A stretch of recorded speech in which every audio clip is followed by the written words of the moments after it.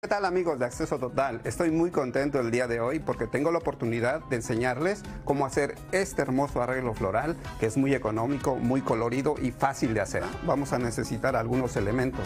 Espuma floral, una base, puede ser redonda, cuadrada, hojas de té y yo tengo una variedad extensa de colores de flores, pero usted puede usar el color que más le guste y las flores de su preferencia.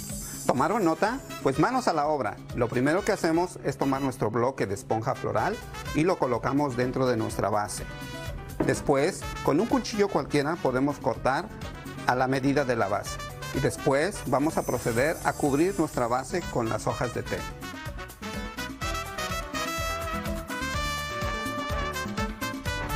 Ya casi terminamos de cubrir nuestra base con las hojas, falta la última hoja.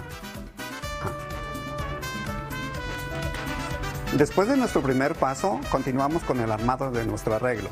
A mí me gusta usar hortensias porque es una buena base para continuar con las demás flores.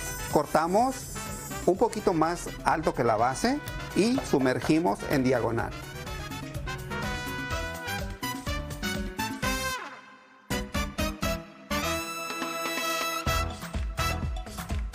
Y listo. Ahora continuamos poniéndole color a nuestro arreglo con nuestras flores.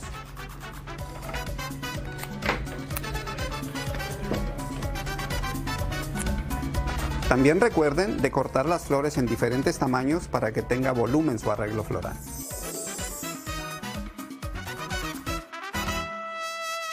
Tenemos que asegurarnos de que nuestro arreglo nos quede uniforme, entonces hay que buscarle y ponerle flores en donde haga falta.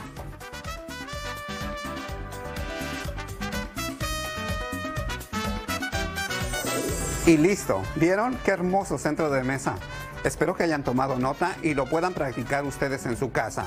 Para más consejos o ideas, por favor síganme en la dirección que aparece en pantalla.